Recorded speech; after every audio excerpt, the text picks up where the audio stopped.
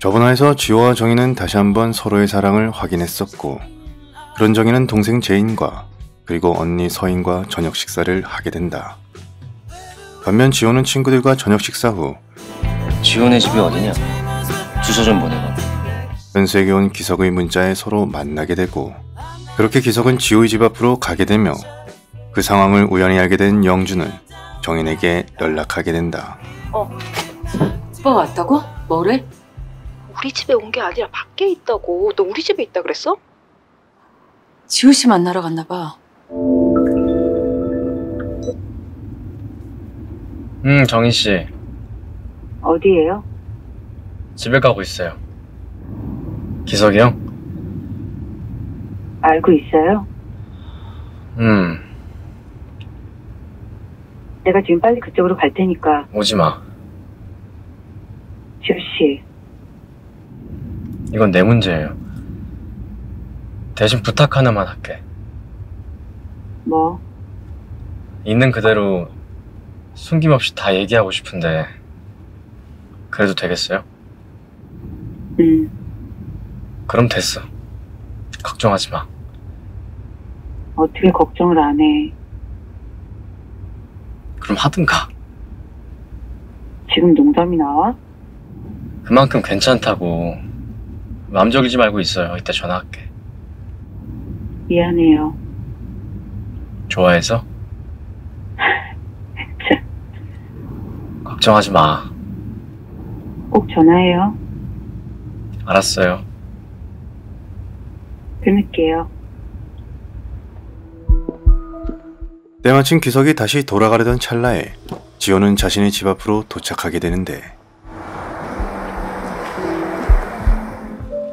왠지 지호의 도전적인 눈빛과 기석의 세상 하찮다는 자세가 심상치 않아 보이고 한편 그것을 지켜보던 이웃집 토토로 영주는 이 사실을 정인에게 알리게 되는데 나한테 할 얘기 있냐? 네. 그래, 하자. 그렇게 지구의 운명은 이 두 사람의 손에 달리게 되는데 좀 더 먹어. 아, 요즘 들어 제일 많이 먹었어. 왜 그래? 지금이라도 괜찮아. 굳이 내가 듣지 않아도 될 이야기면은 안 해도 돼. 기석 오빠가 지우 씨 만나러 갔대. 대박. 하는 게 맞아요. 우연히 약국에 손님으로 들어왔어요. 지- 지호 씨? 짱 언니가 빠져있는 남자. 또 우연치 않게 같은 빌라에 친구가 살아서 다시 마주쳤고 그러면서 만나는 사람이 있다는 것도 알게 됐어요. 근데 내가 멈추지 못했어요.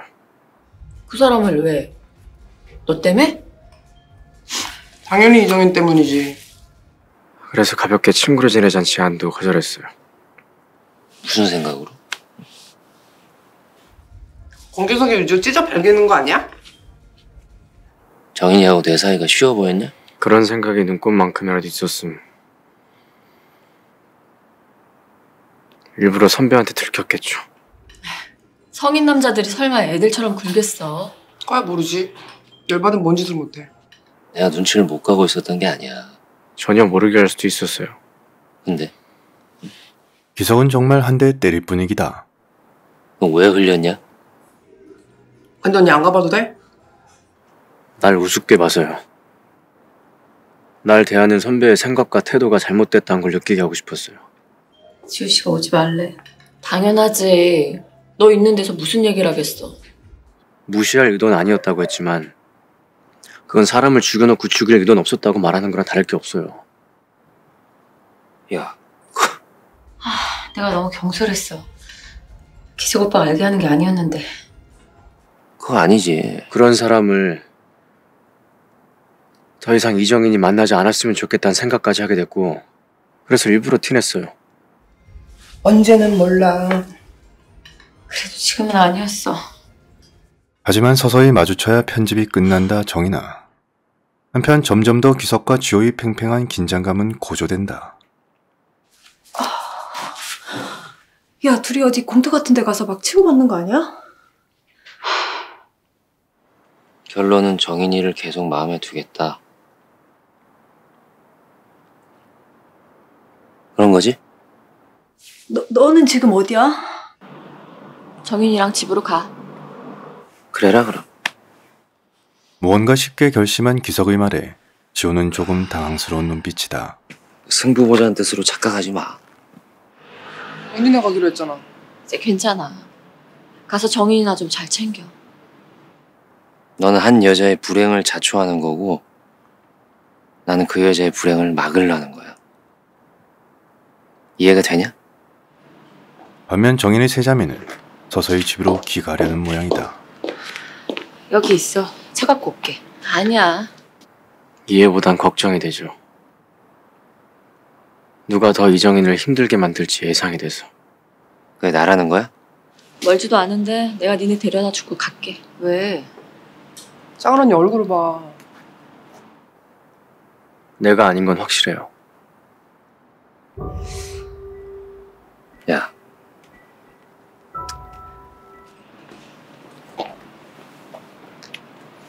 우리가 항상 옆에 있는 거 알지? 음. 그 좋게 말로 할때 그만 기어 올라라.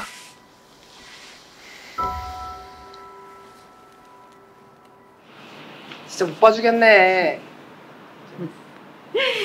으이그 우리 샘쟁이 일로 와. 어이구. 선배에 대한 예의 접을 거였음. 나 무시했을 때 그냥 안 남겼어요. 여전히 지호가 걱정되는 정인. 그런데 얘네 아직도 집에 안 갔다. 음, 봐줬다는 거야? 참았다고 해두죠. 안 참았으면.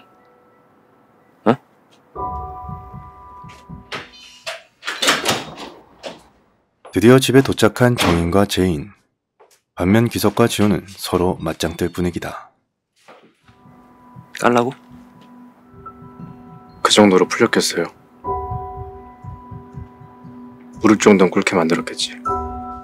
언니 약 사왔는데 괜찮아? 토했어?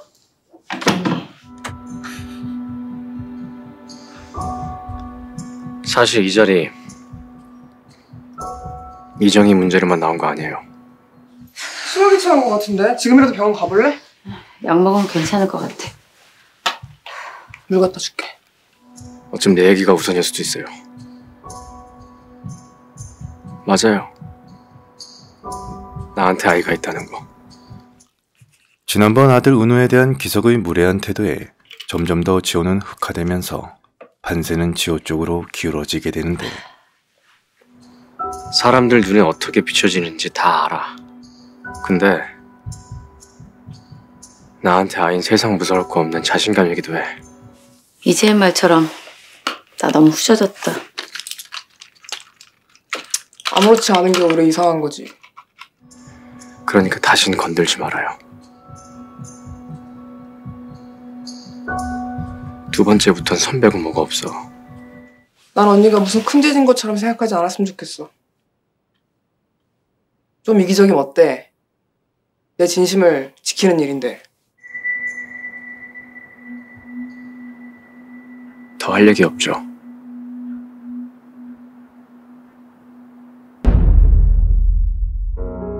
돌아가기엔 이미 너무 많이 와버렸고 버리기에는 차마 아까운 시간이었다. 어디선가 서리 맞은 어린 장미 한 송이 피를 문 입술로 이쪽을 보고 있을 것만 같았다. 밤보다는 낮이 조금 더 짧아졌다. 그래서 그대를 더욱 사랑해야겠다. 정희는 걱정스러운 가운데 기석에게 연락이 오게 되고 반면 지호는 멍뭉미 약사가 아닌 남자 유지호였다. 한편 기석은 점점 더 화가 치밀어 오르게 되는데 과연 이 세 사람의 운명은 다음화에서 어떻게 또 이어지게 될까요? 다음 내용이 궁금하다면 구독과 알림 설정은 꼭 잊지 말아주세요. 저는 그럼 다음화에서 찾아뵙도록 하겠습니다. 영상이 마음에 들었다면 구독과 좋아요는 사랑입니다.